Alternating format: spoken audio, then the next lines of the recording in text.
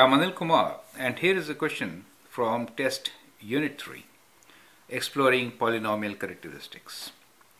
Explain how the value of n affects the behavior of the graph of the polynomial function p of x equals to x plus 3 times x minus 1 to the power of n as p of x approaches x intercept at x equals to 0. Now in this test problem you can do a couple of mistakes which can be avoided. Now first thing is to understand what really we need to explain. It says behavior of the graph of polynomial function as p of x approaches x intercept. That behavior of the graph as the function approaches x intercept is dependent on the type of 0. So you have to analyze 0 of your polynomial, correct? So we have the polynomial p of x equals to x plus 3 times x minus 1 to the power of n. Now we need to analyze 0 at x equals to 1. Correct? Now if you see that 0 at x equals to 1, it has a degree of n. As the degree n changes from 1 to 3 to any natural number, the behavior of the polynomial function at this x-intercept changes and that is what we need to describe. I hope you understand the question. Now let us see how to describe it so that we get full marks. So I'll sketch a couple of graphs here. The first one which I'm going to sketch is when n equals to 1 and then we'll do with n equals to 2 and then we look for n equals to 3 and then for n greater than 3 correct? Okay. So if n is equals to 1 let us say n equals to 1 in that case what is a polynomial? Then the polynomial will be x plus 3 times x minus 1 that means we have two x-intercepts. The first one, let us say, is at minus 3. The other one is at plus 1. And since the leading coefficient is positive, it's like a parabola opening upwards, right? So I'll just approximately draw one graph, correct? So here is my graph for the parabola.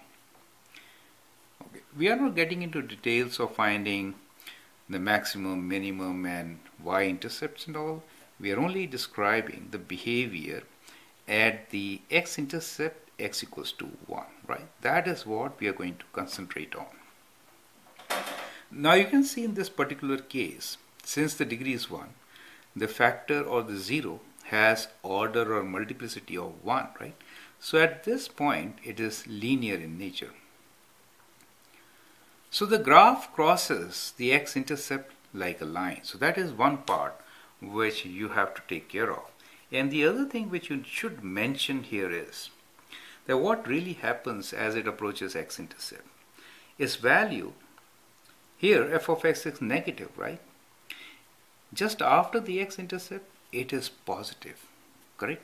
So that means that polynomial p of x sign changes. It changes from negative to positive. Do you see that?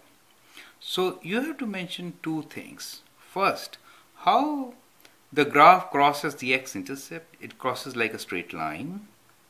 Second, when it crosses, the value of the polynomial changes from negative to positive. Correct? So these are the two things which you should mention to get full marks. Now, let us consider what happens when n is equal to 2.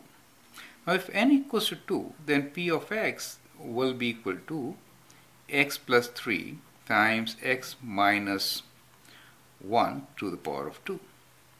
Now at this time how will the graph of polynomial behave as it approaches x intercepted 1?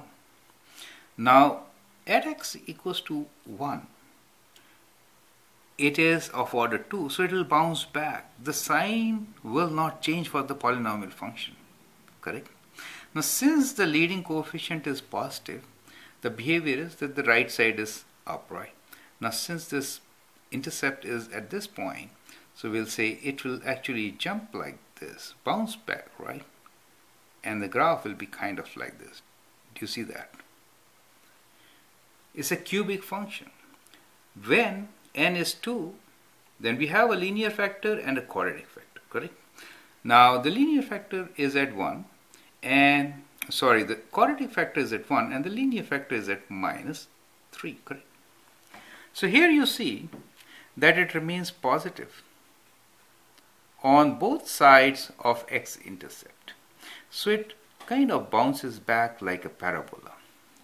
So here as x approaches 1 from positive side or x approaches 1 from negative side, we say that the polynomial value is positive. Yeah, it approaches 0 of course at x intercept, right? We can say it approaches 0 but it is non-negative. I should say it is non-negative. In a way, we can say that the graph of the polynomial is such that it does not change the value. Sign of the it does not change the sign of the polynomial function when x is even right? Now in the third case let us consider when the polynomial of degree 3 then the equation will be kind of like this. X plus 3 x minus 1 to the power of 3.